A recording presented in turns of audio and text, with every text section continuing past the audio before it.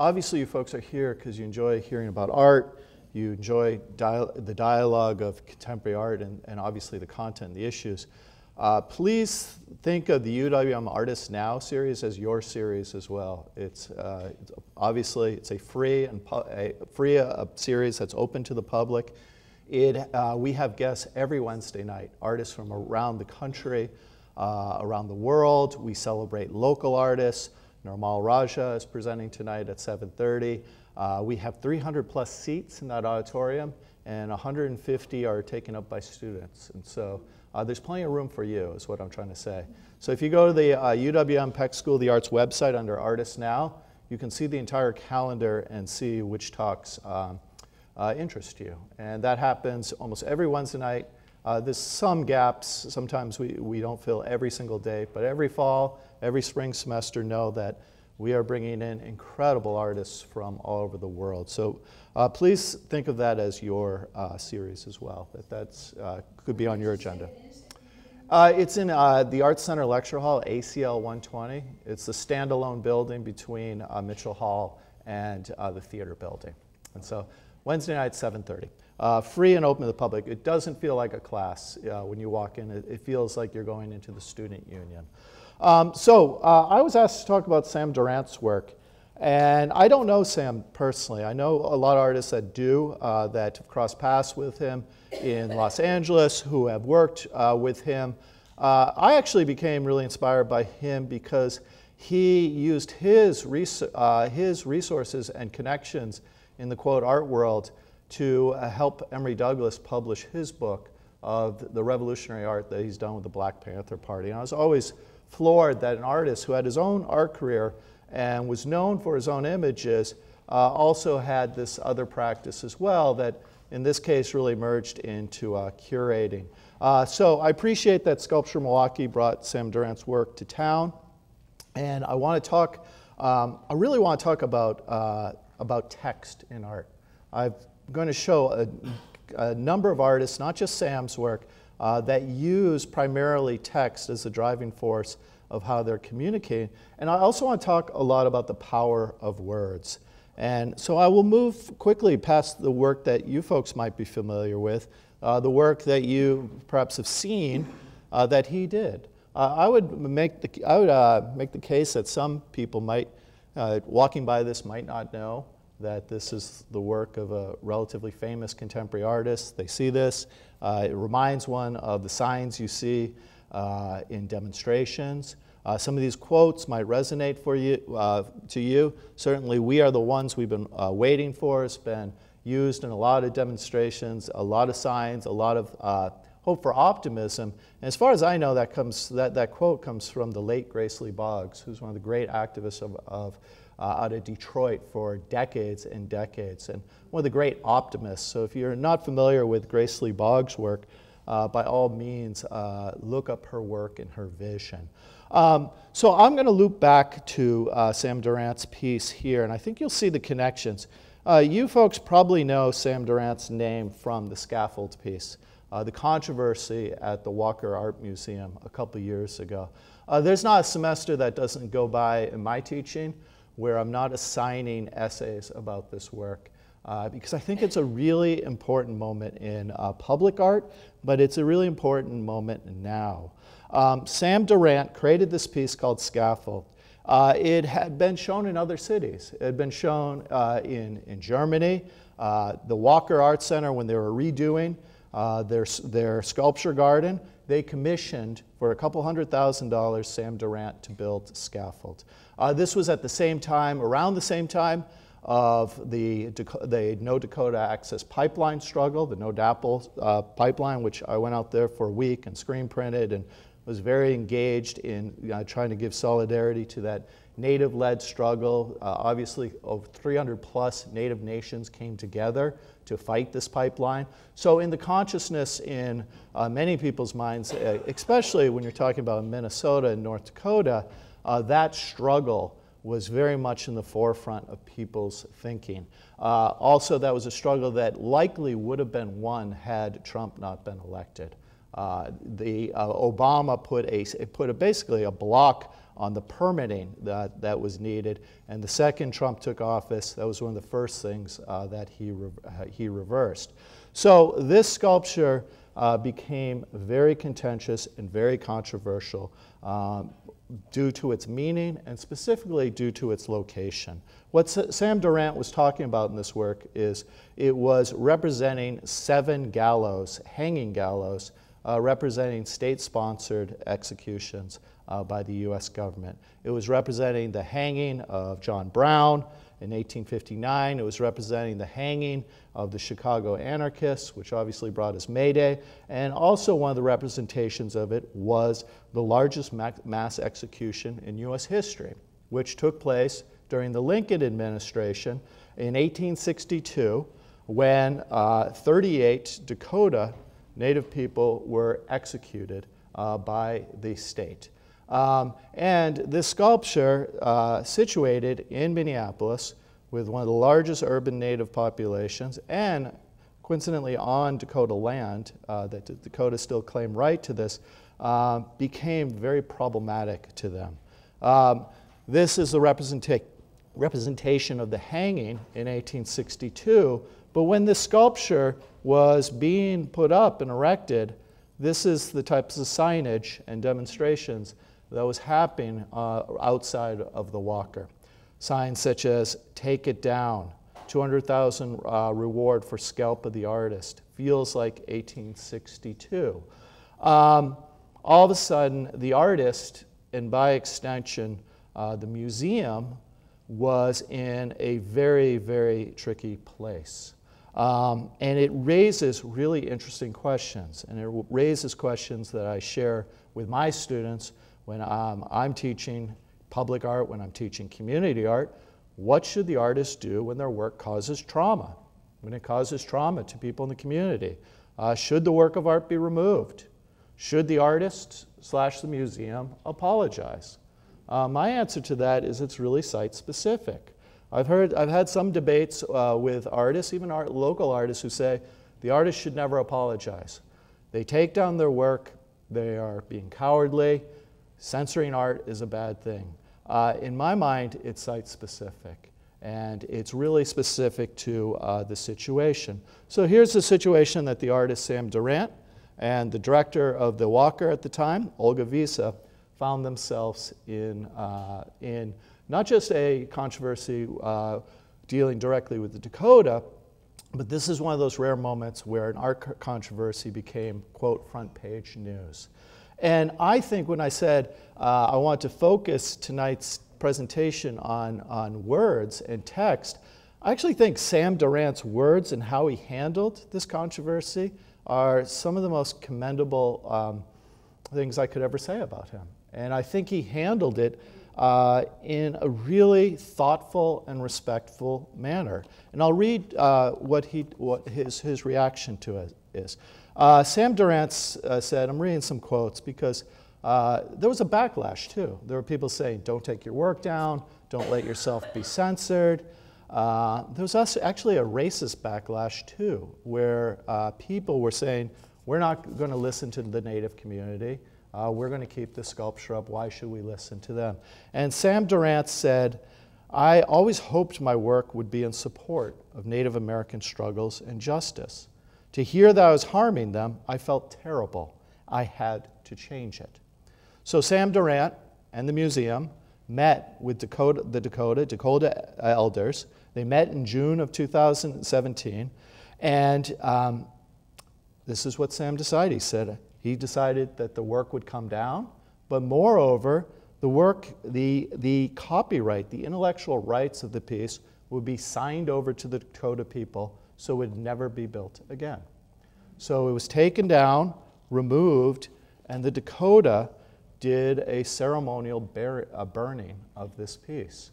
It's really a remarkable uh, moment in public art history and a really remarkable moment in museums. And, but Sam uh, Durant's quotes are really instructive because uh, they're so honest and, and uh, uh, straightforward. He said, The museum, and I'm sharing the blame, didn't reach out to the community. We didn't think of it to start a dialogue before we started building it. there was no information for the community. Essentially, the community, all of a sudden they saw a blank you know, lawn, and then they saw this. Um, he writes, then it turns out that the garden is located on historic Dakota land. So you couldn't have had a better test case of white ignorance in one place. He also said, uh, and I'll read just a few more quotes. He said, when he met with the Dakota elder, it was in a ceremonial circle. From their perspective, it was a spiritual session and not a political one, which allowed for a certain kind of dialogue. Maybe a more open and honest one, but it was very emotional. I tried to explain a bit what the work was about, but I felt I should be listening. So that's what I tried to do. The main issue is how real the structure was for them. That was the main point. The elders were very calm and respectful and thoughtful, but also passionate about their view. As long as that structure was up, it would continue to remind them of what had been there. They asked me to take it down, and I agreed. I think that's powerful uh, words. And, I, and, to me, that's one of the more powerful things perhaps this artist has ever done in his career. Uh, much more powerful than the work that's down in downtown Milwaukee. It's how he handled um, this art controversy. In art controversies, I think there, there, uh, there's some standard things. Obviously, the museum and the artist should have done their homework. They should have reached out to the community. They should have understand the exact location. Uh, but I think they're, they're specific to certain places, and there's not one size fits all solution to each, to each case. And I think in this case, they handled it incredibly well. But what I think is so surprising is that the museum itself um, didn't take the first action in thinking about putting this high profile piece, not knowing that something like that would really register with the Dakota people with that history that was so rooted there, and especially with all the discussion about Native rights and Native, sovereignty. The museum, more so, didn't know its own history as well, in my mind, where they had commissioned artists, Native artists, who were talking about the exact same piece in a much different perspective, from a Native perspective. Uh, Edgar Heepa the Cheyenne Arapaho artist, uh, whose work some of you might know, had done a famous piece in the early 90s on the banks of the Mississippi in downtown Mississippi, where he put a, a sign in honor of each person who was hung uh, it, in the Mankato hangings in um, 1862, honoring their name, honoring the fact that many of these people were, were hung with no justice whatsoever. Some of, some of the people who were hung weren't, were just hung because of their leadership roles as the US government and white settlers were moving westward. So Edgar Heap of Birds' signs right here really puts forth a native perspective, but it's fascinating that this same theme resurfaces in Sam Durant's work um, you know, a, a couple decades later. Um, I find um, Edgar Heap of Birds' work really fascinating and really important. And the signs that he's put up uh, all over the continent, uh, all over the world. He is very famous and very well known for putting text-based signs. Uh, these signs that are up in multiple locations around the continent uh, remind us that we are all standing on native land. We are standing on Potawatomi land as, as I speak. We're standing on Menominee land. He reminds his audience that today your host is wherever the sign is located, in this case, British Columbia, and you can see he puts uh, the, the, the, word, the naming of the colonizer going backwards. It's a really powerful public intervention. It's a really powerful uh, mode of communicating, but I also think the language of, of stating today your host is really, um, really important in the, the power of words. This was one of the few signs I know that was vandalized and taken down. Obviously, uh, the pattern and the history of universities naming uh, their teams and their mascots uh, after um, uh, Native people or histories. Um, and that is still a wound on that campus to the point that this was one of the very few signs that he had created that, that had been vandalized. When you're talking about word based art, um, there's a massive distinction between art that's done in the art world, in a traditional uh, framework uh, that is shown in the gallery or through an arts organization, versus work that's shown in the streets. Um, I'm sharing with you uh, work from the Overpass Light Brigade and also sharing work from two of my colleagues. This is a project that grew out of the University of Wisconsin-Milwaukee, grew out of this city. Uh, it, was, it began during the Wisconsin Uprising in 2010 by a English professor, Lane Hall, and a design professor, Lisa Moline. Uh, they wanted to take protest and signs into the night, uh, especially during the height of the Wisconsin uprising as Walker was assaulting the rights of public employees and just about everything else uh, the state holds, uh, uh cherishes. And the OLB uh, essentially made light bright signs. And they would gather people on the tops of overpasses who would each hold a light to the, to the um, now people who hold the lights are called holders of the light. They recognize that uh, the law said as long as you weren't adhering these signs uh, to these fences, you have freedom of speech to do this. Now, OLB, um, besides doing a lot of their actions locally in Milwaukee and Madison, they put this idea out for others to emulate and to copy. And there's what, 40 to 50 chapters globally of the OLB all over the world. Um, what I find so fascinating about this, this work is it, uh, it hits you from a visceral, visceral level when you see it. When you drive under one of these, whether you agree with the slogan, the politics, or not, you're forced to confront it. So I know when I've passed by these and I see a sign that says there's no planet B, uh, I'm inspired that others are putting that message out. Yet to those who are opposing these messages, it reminds you that there's many people fighting for, these type, for, the, for uh, this type of justice as well. Also, I think this work lends itself to the camera and it lends itself to social media. Um, it's incredibly photo, photographic. Um, OLB is always reaching out to great photographers like Joe Brusky and many others. Kevin has photographed OLB actions.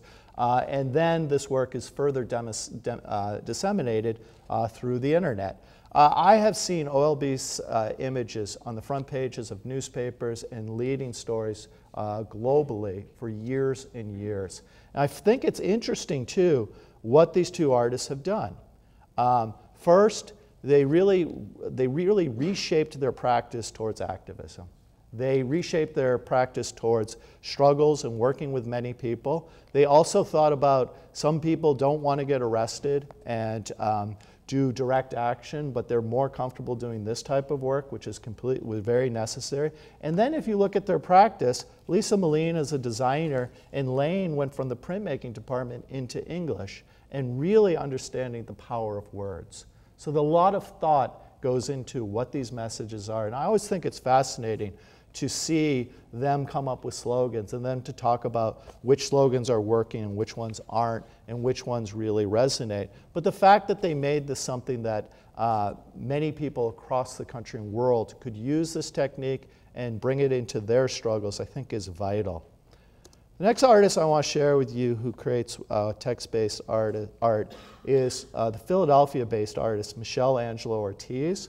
We had Michelle come present at Artists Now, what, maybe two years ago. Uh, she was Raoul Deal's guest. One of the most incredible Artists Now talks I've ever seen.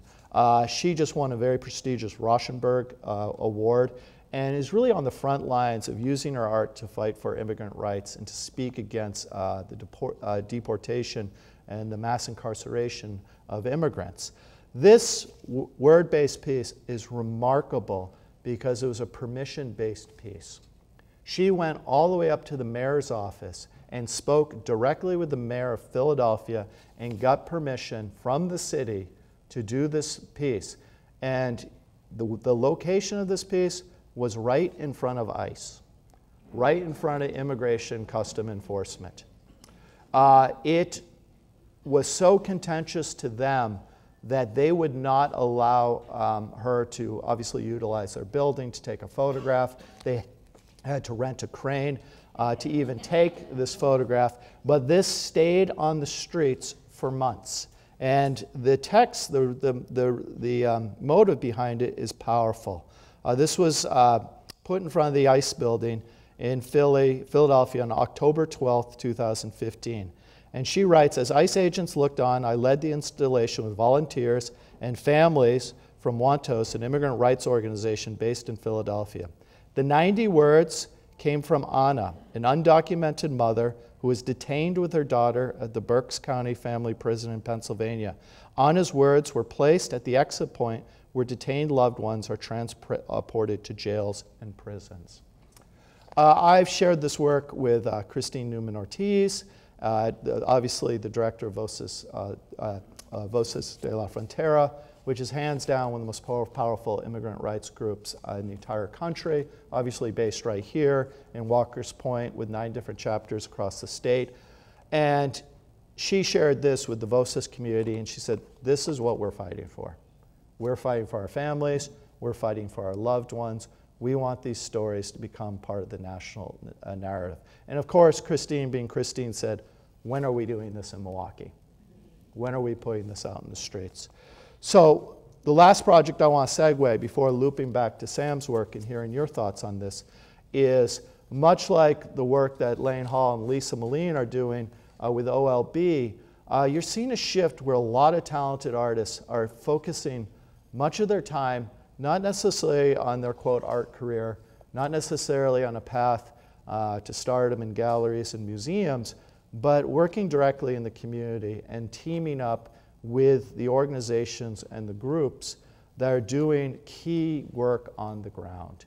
A number of us, including myself, helped form this group called Voces de los Artistas, uh, which was formed a couple days after uh, Trump was elected president, where we recognized that the stakes were going to get a lot um, higher and that the attacks on vulnerable communities, especially immigrant communities, uh, we're going to get a lot more intense quickly. So what we did is we modeled an affinity group after ACT UP. As many of you know about the ACT UP history and the Gran Fury Design Collective that used design almost second to none. When we think of all the iconic uh, AIDS sl slogans and graphics, that was done by a handful of people, a dozen, uh, 20 people working in collectives like Gran Fury who did design work on par of million dollar design firms, and they did everything for the struggle. It wasn't necessarily for the gallery or the museum, although much of that work did wind up there in the years and decades to follow. It was for the movement itself. So, right after uh, the 2016 election, uh, we met at, with Christine, and many of us had been uh, part of Voces, volunteered, done art for Voces for many, many years. We said we have to up our organizing tactics, and we started an affinity group. And this affinity group now has over 60 artists of many different disciplines, from videographers, photographers, graphic designers, painters, and muralists that are part of Voces. And whenever our lead communication person, Voces, says, we need something, uh, we need something for tomorrow, we need a banner for May Day, they have incredible designers that can throw down and work for them. So, uh, for free, mind you. Um, so, when uh, Voces marched on Waukesha, and Waukesha didn't know what hit them, because they got hit with the largest May Day march in their history, perhaps the largest march in Waukesha's history. It was, Waukesha was chosen because uh, the sheriff of that county uh, was attempting to deputize police uh, officers to be ICE agents. And so Christine and Voces recognized that at that moment the struggle uh, had to be situated in downtown Waukesha. And so when the May Day March happened, uh, one of the things the Art Affinity Group did is paint not all, but many of the banners. And the artists that you had working on these were artists uh, who've dedicated their life to design and are putting all their energy into this. So a 100 yard banner marched through the streets of Waukesha that said, They tried to bury us uh, they didn't realize we were just seeds. The famous, uh, obviously, Mexican proverb. Uh, designers in the group include people like Raoul Deal, des designing these unbelievable parachute banners. They're 24 feet wide and brought into the state capitol when thousands of petitions were then delivered to then Governor Walker. Uh, many of my students ask questions how can I help? What can I do? I feel powerless. Use your talents for the struggle. And people like Claudio Martinez, who was at one point a uh, freshman student in one of my classes, is now one of the best designers working anywhere on any movements and creating parachutes like this. Um, I get inspiration every day when I look at artists I admire across the country, artists like Favianna Rodriguez, whose work exists in many, many uh, locations, galleries, museums, but by and large in the streets. And when we reach out to Favianna and say, uh, the teachers in Oakland are striking, um, they love your art, can we use it? She said, of course. My fee is nothing. Put this work in the, in the movement and amplify it. Um, all this work is text-based work. And it takes us to a, uh, a transition to Sam Durant's work, too. That's text-based. Uh, the messages are powerful. They're hopeful. Uh, empathy for everyone. Uh, what I assume to be the Grace Lee Boggs work uh, message. We are the ones we've been waiting for. But my question with this work, and I'd like to throw it open to you and your thoughts, is uh, we all see art differently. It all speaks to us differently. Uh, we don't know, in many cases, when we put work out into the public, how people are going to react to it. Uh, people might react to this work and it completely brightens their day, or they take a photo of it and share it, or this is the message I needed to hear, or perhaps they're walking by it and it's not even registering that much. Uh, we don't know. Just like Sam Durant and the Walker did not know uh, the controversy, they should have perhaps known, but they didn't know what was going to happen uh, when that controversy erupted in Minneapolis. I think they handled it, personally, I think they handled it the right way. But what's missing here when you look at this image? People. It's the first thing I would say. To me, the power of these signs and these messages are the people holding them. When you think about the signs of the suffrage movement in the 19 teens, the power is the messages, but the power is the women holding those signs. And so, as much as I think this work is interesting, and I'm certainly not, not here to uh, eviscerate the work, I think we should understand um, its context. And perhaps he's trying to make us think of uh, this work outside of its context, removed from the people holding it, but largely removed from the movement.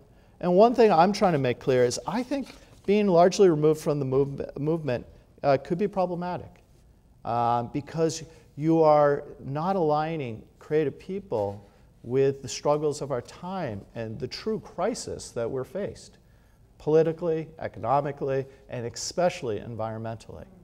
Um, and so I appreciate this work. I think it's important. I commend Sculpture Milwaukee uh, for, uh, for hosting this work. I'm, I'm curious, and I don't know the answer to this, if Sam Durant has started to self censor himself a little bit after what happened in Minnesota, if he's trying to be a little safer. Um, that, I'm not necessarily saying this work is completely safe, uh, but what's not at risk here is the risk you're seeing here. And certainly the people that are threatened with deportation are those on the front lines of climate. But I'm not necessarily saying that that's the role that all art should take. Uh, art communicates in many different ways, and the fact that this work is downtown and communicating uh, very hopeful messages, very progressive messages, maybe are making more people think. Uh, we do need more empathy. We do need to feel more empowered and to feel that everyone's voice matters, especially when you come together. But I do find it ironic that the first thing I said is what's missing here. First thing I heard was people.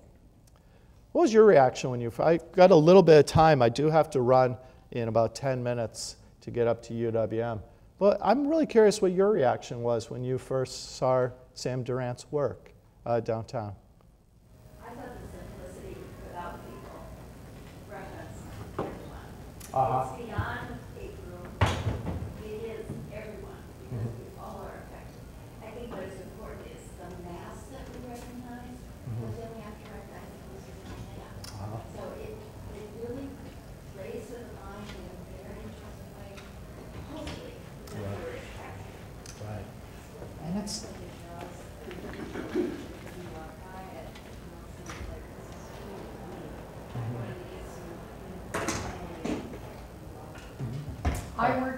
I work out at the Y, Yeah, And that's in the Plankinton building. right. I also come at eight o'clock in the mornings, or eight fifteen, so I can get a parking space. Hmm. I parked right in front of that one day, and I thought, wait a minute, what is this? Is this some kind of sign in the Grand Ave? I mean, I didn't really get it. And then I just stood there, and I looked, and I, and I felt it. And furthermore, I don't know if people know this, there are homeless people, there are mentally ill people that are standing in the doorway as I go in to the Plankinton. And I thought, empathy for everyone. I felt it so deeply because sometimes I go and I don't want to confront the person, I don't want to look at them. And there they are, standing there. And then we are the ones that can solve this, hopefully. But it blew me away the first time I saw it, and I took pictures and I posted it on my Facebook. But I think it's very profound, and furthermore, you know, because it's in the building that is being revived, and there are, uh, and then contrasted, there are people that are. When, as you stand there, your reflection is in Yes, and that too. You are reflected. That is a good point. Your reflection, that black uh, composite behind it, yes, you can't help but be reflected. Excellent. Uh, had, I just thought, when I first saw it, saw it, I thought, especially the empathy for everyone, it would have been nice to have like a border of real people's picture, at least, that would, you know, really make it stand out. The colors on the other one gives you more, um, says that a border with people's faces, different cultures everything, you know, would hit people harder.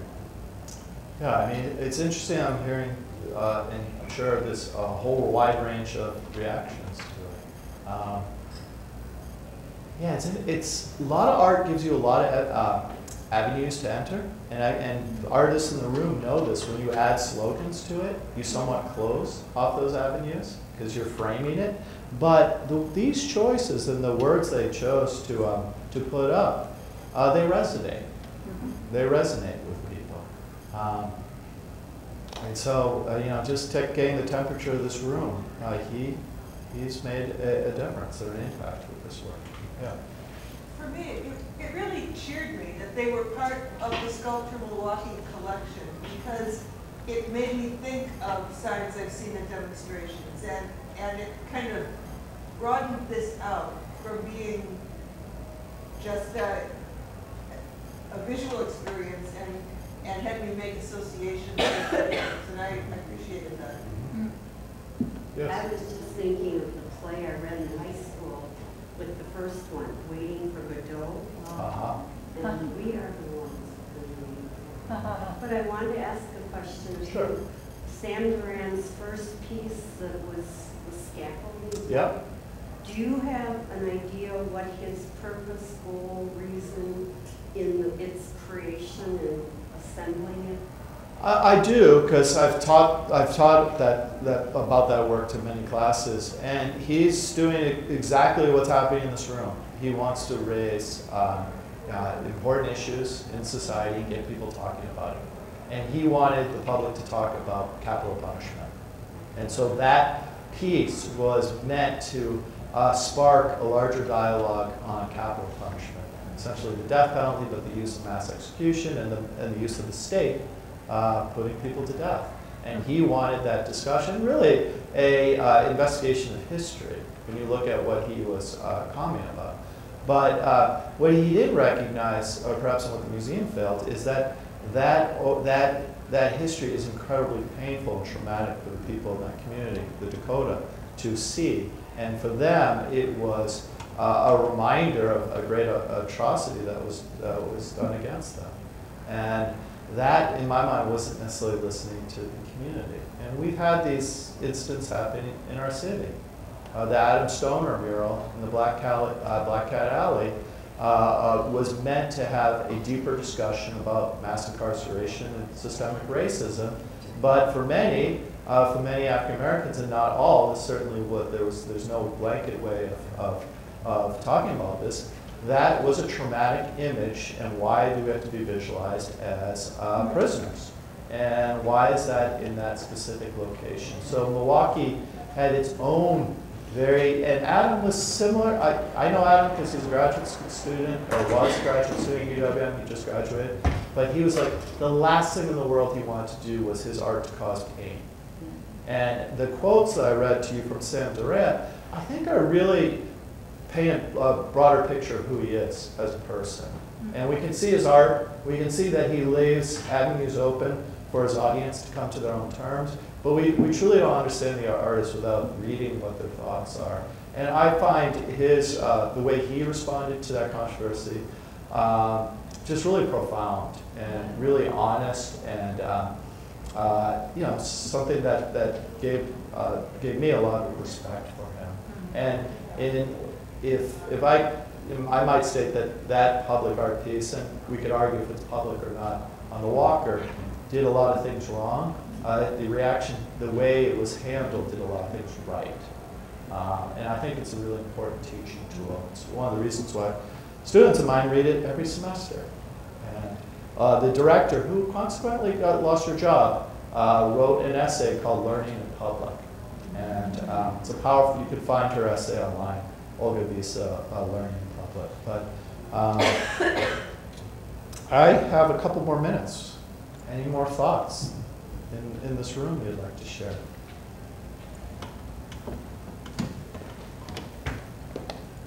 I too walked the length of Wisconsin Avenue one day in July, just looking at all the arts, and, and I, when I saw that, I stopped and wondered if that was part of the sculpture Milwaukee or not initially, and then I thought, I really applaud them for including that kind of, that kind of art.